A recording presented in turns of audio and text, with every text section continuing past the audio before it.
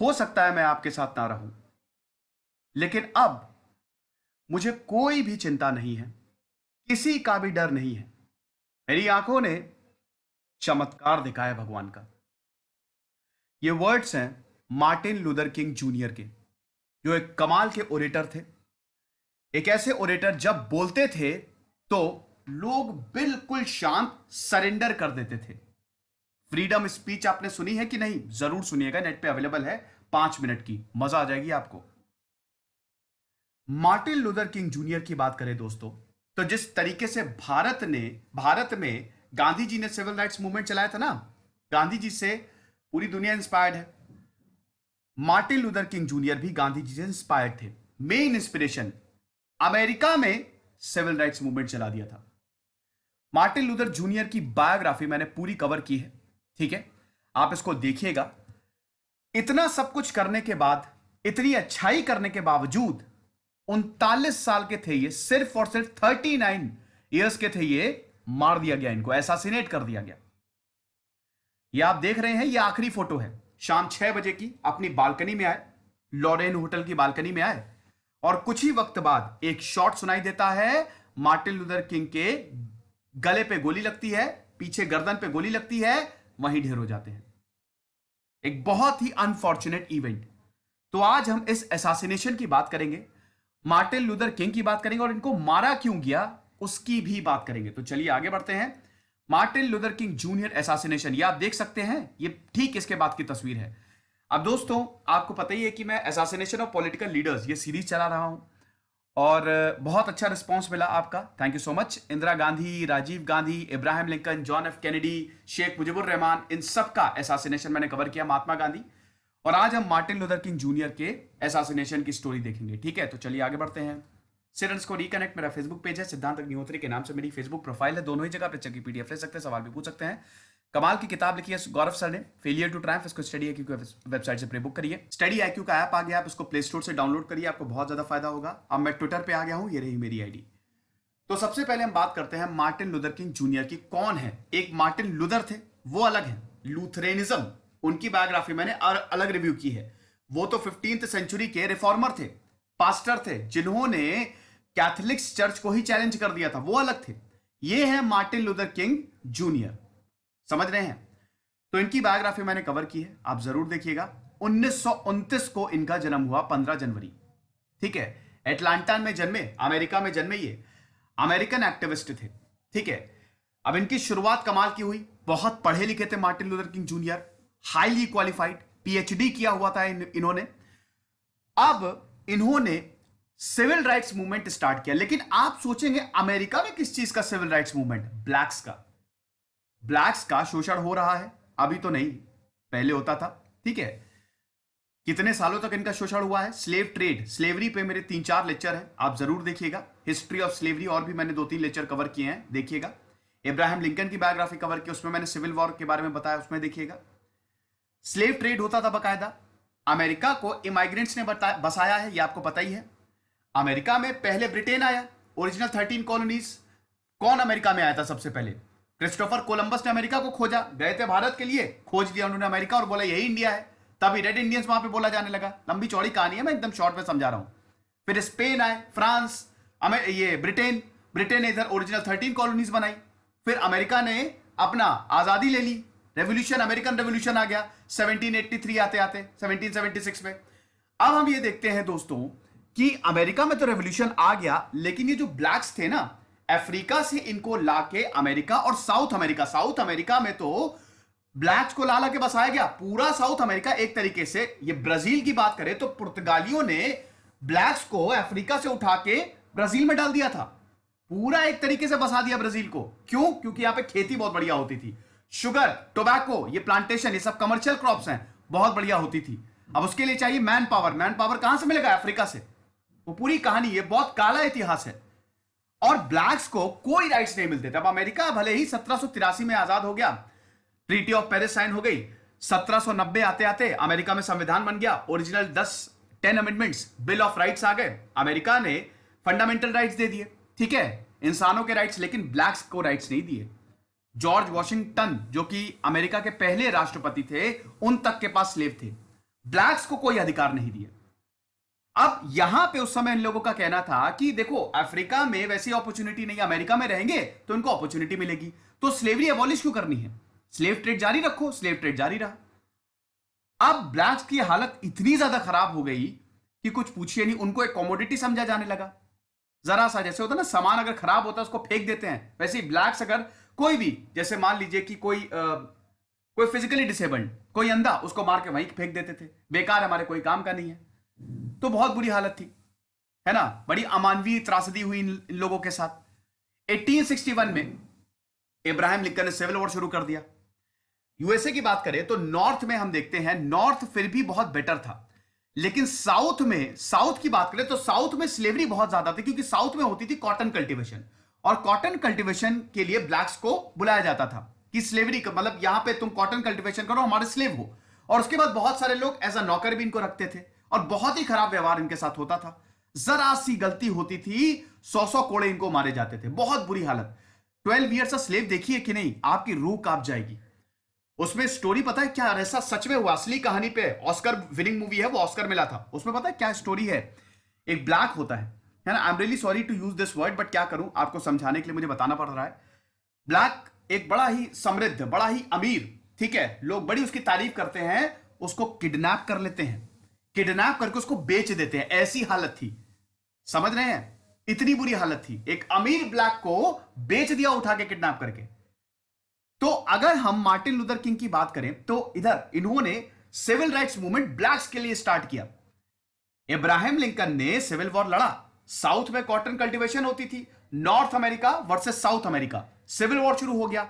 1861 से लेकर 1865 चार साल वॉर चला जब भी ब्लैक्स का किसी ने पक्ष लिया है, उनके राइट्स लिए उसको असैसिनेट कर दिया गया। इब्राहिम लिंकन को भी असैसिनेट कर दिया गया था इसी वजह से 1865 उनकी बायोग्राफी मैंने कवर की है, और एसासिनेशन ऑफ़ इब्राहिम लिंकन अभी दो हफ़्ते पहले लेक्चर आया था, ज़रूर देखिएगा। और मार्टिन लूथर किंग जूनियर को भी एसासिनेट कर दिया गया। भले ही 1865 इमेंसिपेशन प्रोक्लेमेशन भले ही स्लेवरी को एबॉलिश कर दिया अमेरिका ने, लेकिन 100 साल लग गए 1965 तक 100 साल लग गए ब्लैक्स को अपने पूरे राइट्स लेने में, जब तक मार्टिन लूथर किंग जूनियर नहीं आए। समझ रहे हैं? अब जैसे जैसे वक्त आगे बढ़ा 1865 से दोस्तों, अमेरिका में स्लेवरी अबॉलिश लेकिन खाली पेपर पे, है ना? कोई ब्लैक्स को राइट्स नहीं थे। ये बैठ नहीं सकते व्हाइट्स के साथ। इनको एजुकेशन राइट्स नहीं थे। जिम क्रोज लॉज थे। रेशियल सेग्रीगेशन था। कहीं पे अगर, जो बस में क्या होता था, अगर बस में कोई व्हाइट आ जाए और ब्लैक अगर सीट पे बैठा हुआ है तो उसको उठना पड़ता था। व्हाइट्स के लिए सीट छोड़नी पड़ती थी। ऐसी हालत थी। है ना? तो हर जगह रेशियल सेग्रीगेशन था। मार्टिन लूथर किंग जूनियर का दिमाग खराब हो गया। हालाँकि बहुत सारे लीडर्स आए, ऐसी बात नहीं है। 1865 से लेकर 1965 तक इस बीच काफ़ी लीडर्स आए। डुबॉय आए। डुबॉय की बायोग्राफी सोशोलॉजिस्ट थे। उन्होंने बताया डबल कॉन्शियसनेस का कंसेप्ट दिया। आए बहुत सारे। लेकिन मार्टिन लूथर किंग जूनियर जैसा लीडर कोई नहीं आया। मार्टिन लूथर किंग जूनियर ने जब यह देखा इतनी ज़्यादा प्रॉब्लम है, अभी तक हमको अपने राइट्स मिले नहीं है तो लड़ना पड़ेगा। अब लड़ने के लिए इन्होंने हिंसा का सहारा नहीं लिया। महात्मा गांधी को पढ़ते थे। महात्मा गांधी के ये स्टूडेंट थे।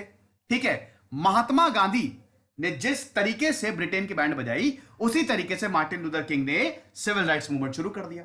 नॉन वायलेंस नॉन वायलेंस इसलिए, ये देखिए, दुनिया भर में महात्मा गांधी की टेक्निक को क्यों आप समझते हैं? महात्मा गांधी की टेक्निक को क्यों अपनाया जाता है? उनकी टेक्निक काम करती है। समझ रहे हैं? अगर आप नॉन वायलेंट है, सरकार आपके ऊपर कैसे हमला करेगी? सरकार सारी सरकारें चाहती कि आप वायलेंट हो जाओ। हर एक सरकार चाहती है कि बस एक बार बेटा ये वायलेंट हो जाए। जैसे भारत में नॉन कॉपरेशन मूवमेंट हुआ था ना 1920 में। गांधी जी बहुत इंटेलिजेंट पॉलिटिशियन भी थे वो। 1922 तक तो चला, लेकिन जैसे ही चौरी चौरा कांड हुआ, सरकार इधर ब्रिटेन फ्रस्ट्रेटेड था। ब्रिटेन बस चाह रहा था, एक गलती बस ये लोग कर दे, फिर मैं ठोक पीट के इनको सीधा कर दूँगा। जैसे ही चौरी चौरा इंसिडेंट हुआ, गांधी जी को पता था, अब सरकार छोड़ेगी नहीं। अब पकड़ पकड़ के लोगों को मारेगी, और एक बार अगर लोग पिट गए तो दोबारा मूवमेंट में नहीं आएँगे। तुरंत गांधी जी ने विड्रॉ कर लिया मूवमेंट समझ रहे हैं? वरना बहुत मार पड़ती। समझ लीजिए। यही अमेरिका का था। अमेरिका भी यही चाह रहा था कि बस एक बार ये लोग वायलेंट हो जाए, उसके बाद तो पकड़ पकड़ के मारेंगे, और ऐसा कई बार हुआ। है ना? इनके बहुत सारे सिविल राइट्स मूवमेंट चले। 1960s में मार्टिन लूथर किंग कुछ मूवमेंट हिंसक हो गए, पकड़ के जेल में डाला, मार दिया था। जान भी लिए यहाँ पे अमेरिकन अथॉरिटीज ने। समझ रहे हैं? तो ये अथॉरिटीज तो यही चाहती है। लेकिन मार्टिन लूथर किंग बहुत स्मार्ट गांधी जी को पढ़ा था, उनको पता था कि कैसे मूवमेंट को आगे बढ़ाना है। माउंट गैमरी 1955 1955 माउंट गैमरी बस बॉयकॉट से ये सिविल राइट मूवमेंट शुरू हुआ। और उसके बाद 1955 से लेकर 1965 तक बहुत सारे मूवमेंट हुए। एक मूवी आपको रिकमेंड करूँगा, सेल्मा। 1964 के सेल्मा मूवमेंट से ही आधारित है। जब भाई ब्लैक को मार दिया जाता है। बहुत ही दर्दनाक मूवी लेकिन उसमें मार्टिन लूथर किंग ने जो काम किया था, कमाल था। सरकार को झुकना पड़ा था। समझ रहे हैं? मार्टिन लूथर किंग को कई बार अरेस्ट भी किया गया। 1960 में मार्टिन लूथर किंग को अरेस्ट कर लिया गया था, गिरफ़्तार कर लिया गया था। तब जॉन एफ़ कैनेडी ने बोला था, छोड़ दो अच्छा व्यवहार करो। जॉन एफ़ कैनेडी थोड़े लिबरल थे, मार्टिन लूथर किंग के साथ थे। लेकिन 1963 में जॉन एफ़ कैनेडी को मार दिया, उनका एसासिनेशन मैंने कवर किया। लिंडन बी जॉनसन बड़े कट्टर कट्टर इन द सेंस की वो बिल्कुल ब्लैक्स को राइट्स इतना देने में पक्ष में नहीं थे। समझ रहे हैं? तो हम ये देखते हैं कि मार्टिन लूथर किंग ने जो सिविल राइट्स मूवमेंट यहाँ पे चालू किए 1965 में अल्टीमेटली एक के बाद एक एक्ट पारित हुए और ब्लैक्स को उनके राइट्स मिले वोटिंग राइट्स मिले फाइनली समझ रहे हैं? और इसीलिए उन्नीस में इनको नोबेल पीस प्राइज दिया गया। कमाल की कहानी। ये पूरी मैंने कवर किया, देखिएगा। अब हम आते दूसरे पहलू पे। अभी तक तो मैंने आपको सब कुछ बढ़िया बताया, लेकिन आप एक चीज़ समझिए, मैं आपको एक चीज़ बताना चाहता हूँ। मार्टिन लूथर किंग का काम खतरे से खाली नहीं था। इनको कई बार मारने की कोशिश की गई थी। एक बार इन पे एसासिनेशन अटेम्प्ट हुआ था, ठीक है? बच गए थे ये। किसी तरीके से बच गए थे ये। और इनको कई बार मारने की कोशिश की थी। ऐसे, ऐसा नहीं है कि एक ही बार में इनको निपटा दिया गया, है ना? एक बार इनको चाकू से मारने की कोशिश की गई थी। इनको रोज फ़ोन पे धमकियाँ मिलती थी। वाइट्स तो बिल्कुल इनके खिलाफ थे ना, सारे नहीं, लेकिन जो लोग कट्टर थे, वो इनके बिल्कुल खिलाफ थे। कि तुम अपना मूवमेंट वापस ले लो, वरना निपटा देंगे तुमको, याद रखो। लेकिन ये बिल्कुल सुनते नहीं थे, मारना है, मार दो। तो भगवान के भेजे हुए थे, उन्होंने कहा कि जो करना है कर लो, कोई दिक्कत नहीं है। काफ़ी रिलीजियस थे वैसे, आपको बता दूँ, है ना? अगर मार्टिन लूथर किंग जूनियर की बात करें। समझ गए? तो इनके ऊपर असैसिनेशन अटेम्प्ट ऑलरेडी हो चुके थे, इनको बहुत धमकियाँ मिलती थी। लेकिन इस इंसान ने जेम्स अर्ल रे ने मार दिया मार्टिन लूथर किंग को। अब जेम्स अर्ले कौन है? पहला हमने देख लिया। मार्टिन लूथर किंग के बारे में आपने समझ लिया इनका काम क्या था। जेम्स अर्ल रे कौन है? ये एक क्रिमिनल था। जेम्स अर्ल रे की बात करें, ठीक है? एक क्रिमिनल था, परिवार बहुत अच्छा नहीं था, बचपन में ही माता पिता गुजर गए, ना पढ़ाई की, कुछ टाइम मिलिट्री में काम किया मिलिट्री में भी बिल्कुल इनकेपेबिलिटी की वजह से उसको निकाल दिया गया हाईली इनडिसिप्लिन है। उसके बाद ये गुंडई करने लगा रॉबरी करने लगा, लोगों को परेशान करने लगा, बहुत ही नोटोरियस था क्राइम के लिए फ़ेमस था। एक ऐसी रॉबरी की, इसको उठा के जेल में डाल दिया। 1958 में इसको 20 साल की सजा मिली थी। 20 साल के लिए जेल में बंद। मिजोरी जेल में बंद था, लेकिन जेम्स अर्लरे मिजोरी जेल को तोड़ने में कामयाब हो गया, एस्केप कर गया। समझ रहे हैं? अगर ये मिजोरी जेल को नहीं तोड़ता तो मार्टिन लुदर किंग ज़िंदा रहते। है ना? हालाँकि ये कह भी नहीं सकते क्योंकि बहुत जान का खतरा था, लेकिन काफ़ी टाइम अगर मार्टिन लुदर किंग और जी जाते तो समझ लीजिए कमाल हो जाता। लेकिन वही चीज़ है ना कि अब किस्मत में जो लिखा वो तो हो के ही रहेगा। जेम्स अर्ल रे ने जेल को तोड़ दिया, भागा वो जेल तोड़ के 1959 में।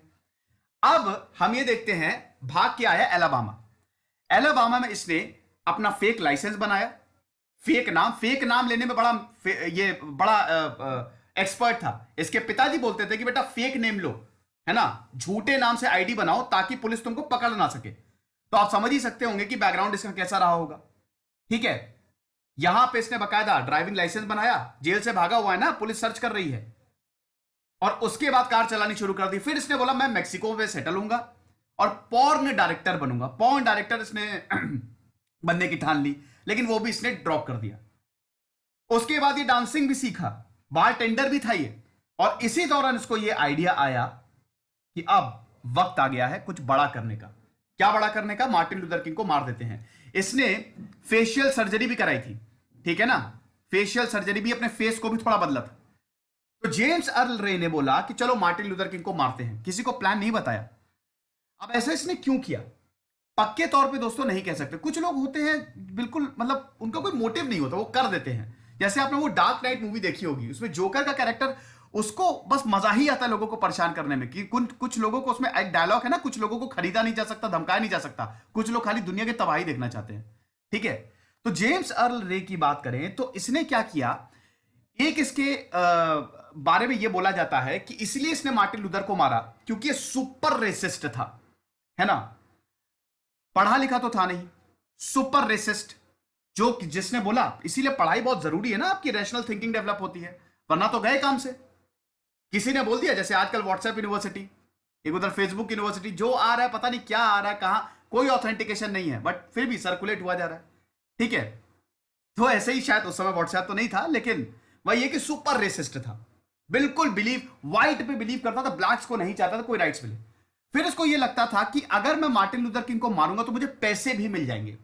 क्योंकि बहुत सारे अमीर व्हाइट्स जो थे, वो मार्टिन लूथर किंग को मरवाना चाहते थे। तीसरा और सबसे इंपॉर्टेंट इसको लगता था साउथ में, जैसा कि मैंने बताया, साउथ में स्लेवरी बहुत ज़्यादा और साउथ में दोस्तों ब्लैक्स के साथ ज़्यादा डिस्क्रिमिनेशन होता था। तो यहाँ पे दोस्तों, इसने सोचा कि अगर मैं साउथ में मार रहा हूँ, क्योंकि टेनेसी में ही अल्टीमेटली डेथ हुई ना यहाँ पे मेम्फस टेनेसी गए थे मार्टिन लूथर किंग अभी मैं बात करूँगा कैसे एसासिनेट किया गया। तो इसको लगा, अगर मैं साउथ में मारता हूँ तो मुझे कोई कन्विक्ट करेगा ही नहीं, जेल भेजेगा ही नहीं। सब सोचेंगे कि अच्छा किया मार्टिन लूथर किंग को मार दिया, हम सब यही चाहते थे, लेकिन ऐसा हुआ नहीं। रूल ऑफ़ लॉ अमेरिका में चलता है। समझ रहे हैं? अब दोस्तों जो मैंने आपको शुरू में बताया था कि मुझे कोई डर नहीं वो एक दिन पहले की बात है। ठीक एक दिन पहले तीन अप्रैल को इन्होंने ये बात बोली थी मार्टिन लूथर किंग ने। हम ये देखते हैं कि जब इसने प्लान बनाया क्या नाम है? आ, ये जेम्स अर्ल ने इसने एक राइफल खरीदी। राइफल खरीदी और पता था कि मार्टिन लूथर किंग आने वाले हैं टेनेसी मेम्फस 1968 अप्रैल 1968 में इसको पता चल गया कि मेम्फस यहाँ पे 1300 सैनिटेशन वर्कर्स की डिमांड को रखने के लिए मार्टिन लूथर किंग आने वाले थे। टेनेसी, जो कि साउथ में है, मेम्फस में, टेनेसी के मेम्फस में आए मार्टिन लूथर किंग। अप्रैल में, तीन अप्रैल को आइए अब यहाँ पे प्रोग्राम बहुत बड़ा था 1300 सैनिटेशन वर्कर्स का इनको कॉज लेना था। उनकी कंडीशन बहुत ज़्यादा खराब थी इनको पैसा नहीं मिल रहा था। तो बाकायदा ये मार्च था, इनको मार्च करना था और पीसफुल मार्च था ये। मार्टिन लूथर किंग जो भी करते थे, बिल्कुल पीसफुली करते थे। पीसफुल मार्च था। लॉरेन होटल में ठहरे हुए थे। लॉरेट होटल के ठीक सामने एक और घर था, जहाँ पे किसी तरीके से जेम्स अर्लेन ने व्यवस्था कर ली। और उसके बाद गया। मार्टिन लूथर किंग की कोई ऐसा तो था नहीं कि प्रेसिडेंट हो या फिर मार्टिन लूथर किंग कोई पॉलिटिशियन बहुत बड़े हो, एक्टिविस्ट थे ये। है ना? ऐसा तो था नहीं कि सरकार में तो सिक्योरिटी इतनी ज़्यादा नहीं थी। हालाँकि इनको बार बार वार्निंग मिल रही थी कि थोड़ा सा ध्यान से चलिए, लेकिन मार्टिन लूथर किंग डरते नहीं थे। उन्होंने कहा, जो होगा, सो होगा। अब हम देखते हैं कि सामने वाली बिल्डिंग में बाथरूम में बाथरूम से ठीक, ये जो मैंने आपको फ़ोटो दिखाई थी ना, ये बिल्कुल बाथरूम से ये जो बालकनी है, इसका नज़ारा बिल्कुल अच्छे से दिख रहा था। सामने बिल्कुल एक बिल्डिंग थी बाथरूम से बाथरूम में विंडो थी, वहाँ पे इसने राइफल फिट की और चलाई गोली, जेम्स एलरे ने। और सीधा गर्दन पे लगी। और जैसे ही गर्दन पे लगी, मार्टिन लूथर किंग ढेर हो गए। अब इसको पता था कि यार अब तो बहुत बड़ी गड़बड़ हो गई है। निकलो यहाँ से, वरना मैं पकड़ लिया जाऊँगा। अपनी राइफल और सब कुछ वहीं छोड़ के चला गया। दो महीने बाद इसको पकड़ा गया और मुकदमा चलाया गया। इसको सौ साल की सजा मिली। 99 इयर्स इंप्रेजनमेंट मतलब जेल में ही रहो ज़िंदगी भर। और 1998 में इसका देहांत हो गया। जेल में ही इसका देहांत हो गया। तो आधी से ज़्यादा ज़िंदगी इसकी जेल में कटी। और आज भी ये कोई पक्के तौर पे नहीं बता पाया कि जेम्स सलरे ने मारा क्यों। हालाँकि कयास यही लगाए जाते हैं 99 परसेंट यही चांसेस है, सुपर रेसिस्ट था ये। और मार्टिन लूथर किंग को हमने खो दिया। अब जैसे ही मार्टिन लूथर किंग का देहांत हुआ, वैसे ही दंगे भड़क गए। ठीक है? सौ से ज़्यादा शहरों में दंगे भड़क गए। लोगों ने प्रॉपर्टी को जलाना शुरू कर दिया। लोग हिंसक हो गए। तब उस समय लिंडन बी जॉनसन ने बोला कि जो अहिंसा का मसीहा है। देख के बहुत ज़्यादा दुख होता है कि आज लोग उसके नाम पे हिंसा कर रहे हैं।